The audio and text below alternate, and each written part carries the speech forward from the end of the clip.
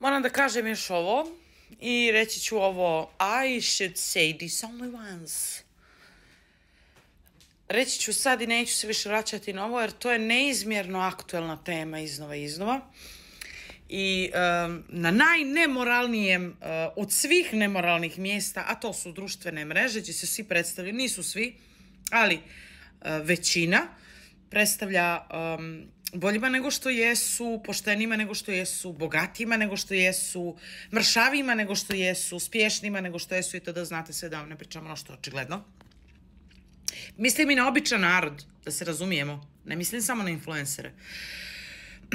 Toliko se um, govori o tom reklamiranju kladionica.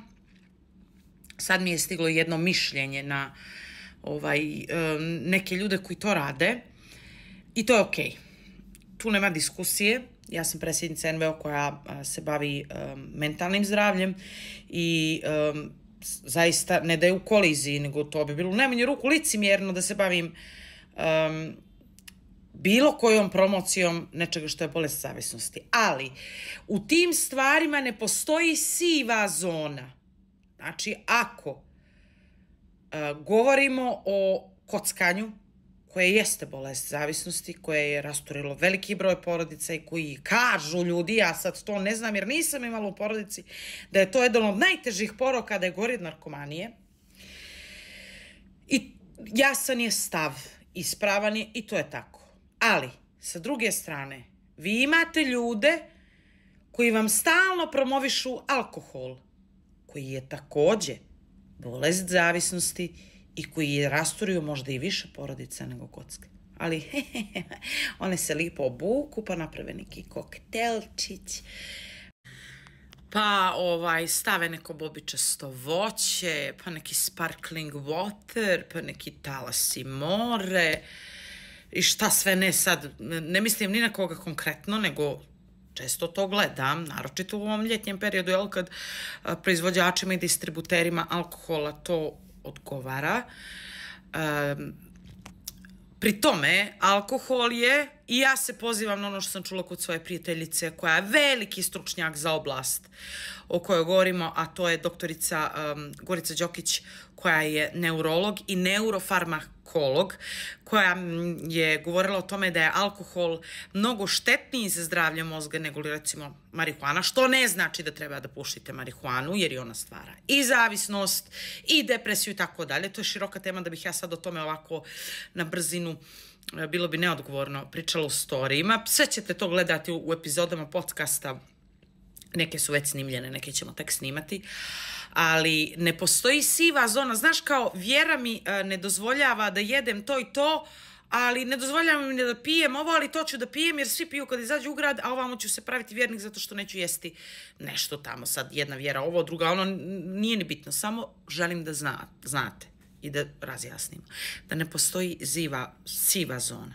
Ne možeš um, biti malo vjernik, nego si ili vjernik ili nisi vjernik.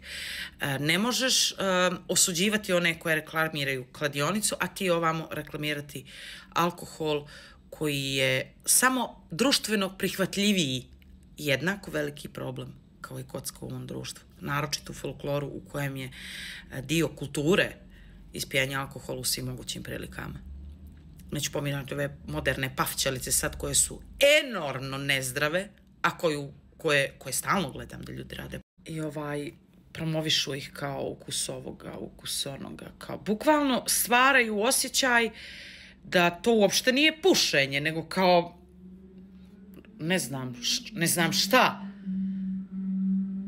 I bez nikotina i sa nikotinom ne, nemojte to da fućkate jer zna se šta je vejpovanje, šta izaziva, mislim, uzbiljimo se. Uh, long story short, da sumiramo, jer bit će onih koji će pogrešno shvatiti, uvijek ih bude, to zaista nije moja odgovornost. Moja odgovornost je za ono uh, što sam rekla, masi ili pojedincu, tako da ću još jednom rezimirati uh, sve ono što čovjeku izaziva bolest zavisnosti i utiče i narušava njegovo mentalno zdravlje je jednako loš Nije jedno manje loše, a drugo je više loše, pa ćete jedno da radite, drugo nećete i pravit ćete se pošteni tako što niste radili ovo, a radili ste ovo.